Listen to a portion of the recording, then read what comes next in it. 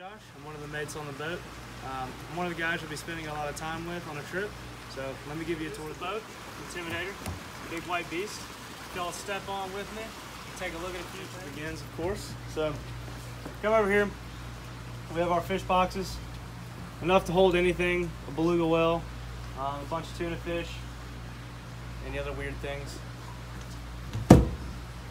We have four boxes in total, which is what you see back here. And we come over here, we have our live well. Some little fishes. A few more of our fish boxes. This is the biggest one. Sometimes I'll sleep in here if I really smell bad. Here we have our green egg. Cook anything on here from steaks to pizzas, I even cinnamon rolls one time. Is it. It's still hot. Been like five days. Here we have our Yeti. Bring any drinks you want. We do prefer that you don't bring glass though. Just a safety thing. You know, glass breaks in there, you never see it. Hands cut up. Over here we have our ice maker. Make all of our own ice, which is very helpful for those three-day trips. As you can tell, it's very dry. Hard to open Big old ice maker. Got to keep this thing moved over quite often. It uh, operates by hand pump. Left side, water in. Right side, water out. This is very useful for whenever the fishing gets exciting. Instead of having to run all the way in, you can just go and be right back out and not miss any of the action. Let's take a look inside the boat. Over here we have our bait freezer. Common bait freezer. Put bait in it, it freezes it. Over here we have our uh, toaster oven. Perfect for anything. We'll cook mac and cheese in it, biscuits, toast, anything and everything really. Just don't put a shoe or something in there. It's kind of weird. Um, over here we have our actually new cushions. We got new cushions this year. Um, got new bags. Very soft. Very nice. Tons of lumbar support. Um, brand new, very comfortable. Allows for about 10 12 people to sit in here.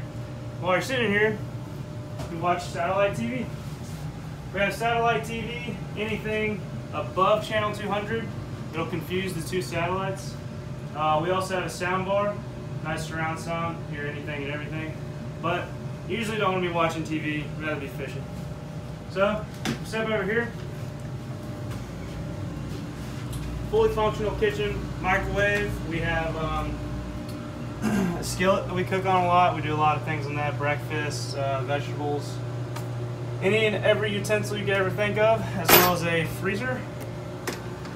A few little things in there right now, and a fridge.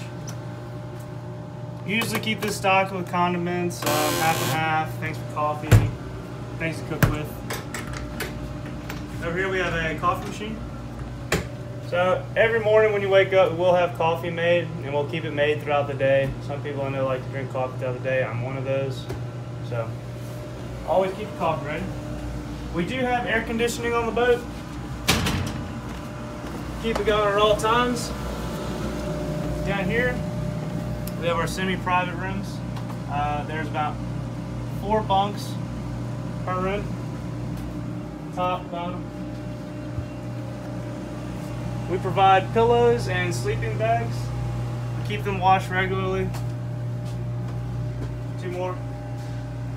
Here we have our bathroom, which also includes a shower.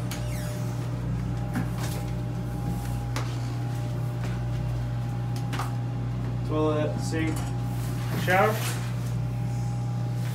It's even one of the cool ones. Look at this. Look. Yeah. Oh, I got water on me.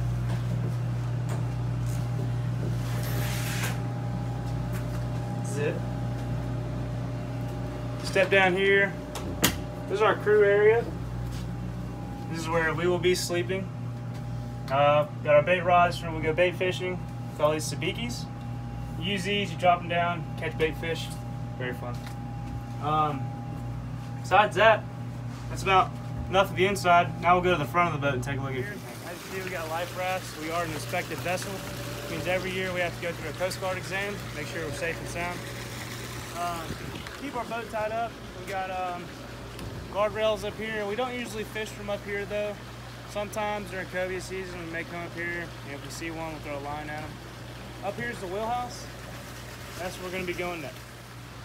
So up here is the, uh, the wheelhouse. We have tons of rod holders here. Uh, I think it's like 22. Up here, we have our which allows us to put lines out on the side of the boat. Mainly they're just for holding lines. Allows you to run more lines off the back whenever you're tuna fishing, trolling, whatever, what have not. Up here is our um, tuna tower. That allows you to do is you can drop from up there and you can take a look farther out, see things. So if you see, oh, there's a uh, floating tree or a fish over there, it gives you a much better view up top. Now we're gonna take a step inside. Uh, not many people get to come up here. Um, it's actually one of the rules we have, mainly because it's a mess usually. Just always frantic, always in the middle of a bite, trying to keep things going, so constantly trying to do tackle or rig something up. In here you have uh, the most important part of any trip, the pretzels. These keep the captain happy throughout the trip, which makes a really good trip. Um, then we have our trolling rods, our live bait rods, and our kite rods. These we mainly use for tuna fishing or if we're going after mahis, sailfish, any of those pelagic species we usually use these. They're our heavy duty rods. Over here we have two more bunks. This is where co-captain sleeps. This is where captain sleeps over here. We don't mess with this. Here's the chair. Very comfortable. Allows you to spin and rock and do whatever. But this is from where the captain drives the boat. As you can see, it has all his electronic systems. Everything's modern, up to date. Best of the best. Uh, we have radars over here, fish finders, the all important TV. Um, but from here is where the captain will stay most of the trip. Every once in a while I'll come on down, but usually stays on here trying to keep you on top of the fish. Alright, that's about it for the tour. If you want to see any more or know anything else, uh, you can give us a call at 251-747-2872 or go on our website at fishorangebeach.com and go to the info request tab. Thank you for coming with us today on the tour. I got to get back to work.